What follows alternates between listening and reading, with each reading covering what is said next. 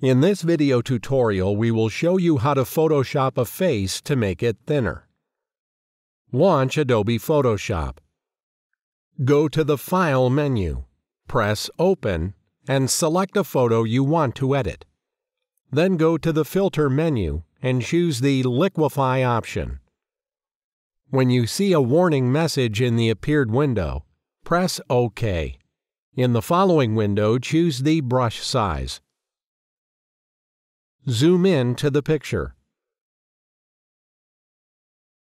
Click on an area in the photo where you want to make the face thinner, and move the brush tool with the mouse. When done, press the OK button.